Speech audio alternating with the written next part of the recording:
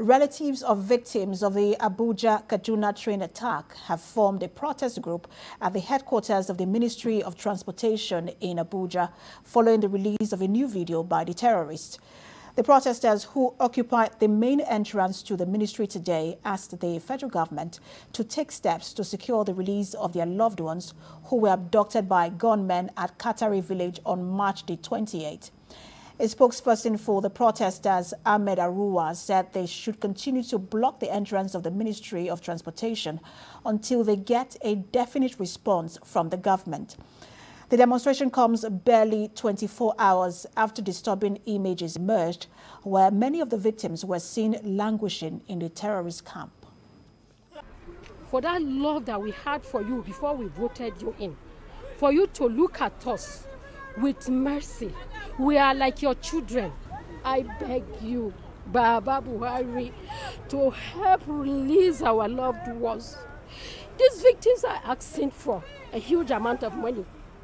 We are here to tell the government that the lives of all our relatives in the bush there with the kidnappers is, is the thing is that as we speak, they have been flogged, they are being macheted.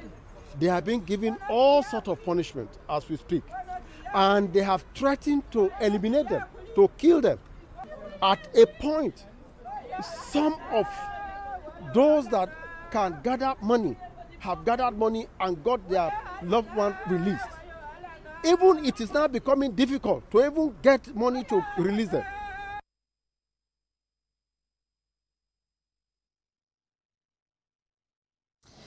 In a video released yesterday, which we advise viewers' discretion, the hostages can be seen crying and calling for help as they were being beaten by the gun-wielding terrorists.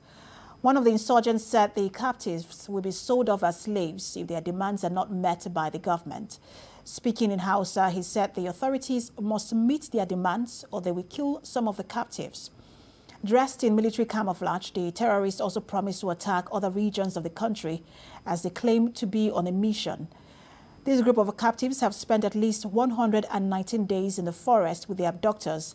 63 of them were kidnapped, 20 of them regained freedom in batches, and at least 43 of them are still in captivity.